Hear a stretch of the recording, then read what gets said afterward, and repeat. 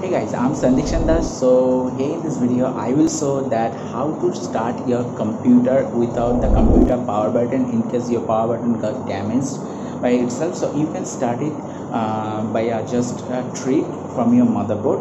So how to do that, I will tell. So if you want to know, please stay tuned and make sure if you're new, then subscribe my channel, tap the bell icon. Also hit the like button below if you have liked, found this video helpful, and share with your friends and family and also comment below if you have any query.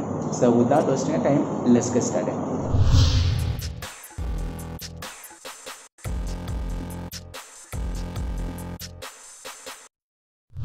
So, first thing first, wherever your motherboard is, testing is outside of your cabinet or inside your cabinet. Make sure at least power is on and power cord is plugged at SMPS while monitor cable is connected at motherboard. Also as a safety precautions, you can wear gloves, slipper while doing this for the first time cause there is an electric risk hazard. But don't worry, I am not here to make you afraid. If you do it carefully, nothing gonna happen and can do it easily by yourselves. So here you can see this is my motherboard and my cabinet's power button is damaged and not working at all. I will make a tutorial video that how to change the power button easily without replacing the whole cabinet which nobody gonna tell you how. I will leave a card at the video. Check out the i button. So coming back at the main topic. Hence, the first task for you is that you have to find out your motherboard's front panel jumper pins in case setting up your motherboard for the first time. Every motherboard has jumper pins and located at different area which varies from company to company. If you don't know, then can read your motherboard's user manual to find out where are the jumper pins located at your motherboard. Also, you can find out easily if you look at your motherboard circuit. There it will be the 9 pins combination with one pin missing marked as F underscore panel or simply front panel.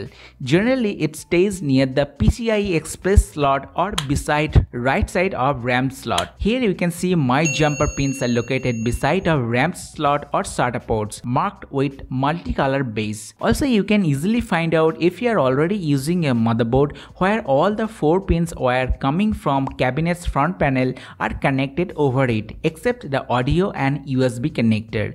In that case, it is more easy to understand However, now take out only the jumper connector marked as power underscore SW from the side of power LED plus minus connectors. Generally, it is connected at just side of one missing pin.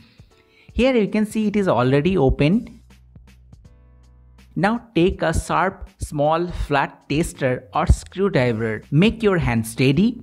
Give your full attention and have to sort or bridge only those two specific power underscore SW pins together at a time and remove the tester or screwdriver immediately as soon as your CPU cooler starts to rotate. Here you can see it started. CPU cooler is rotating and running my PC so well.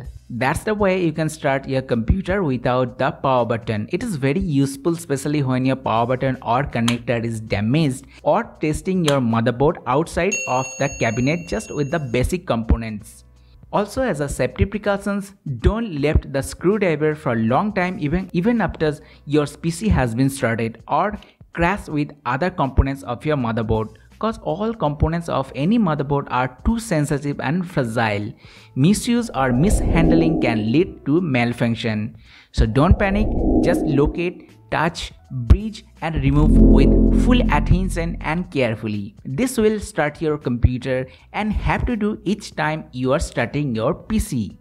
However, that's all folks. If you have not understand, just go back and watch again. Regarding any query, you can ask below at comment section. I'll be happy to answer that for you. You can also suggest me on next topic of the tutorial which I should make a video on it. So if you have found this video helpful, then don't forget to hit the like button, subscribe my channel, tap the bell icon, share with your friends and family who wants to know this process and must follow me on Instagram, Facebook, Twitter. Links in the description below. So hope to catch you soon in my next video. I was Sandhikshan Das signing off. Have a great day.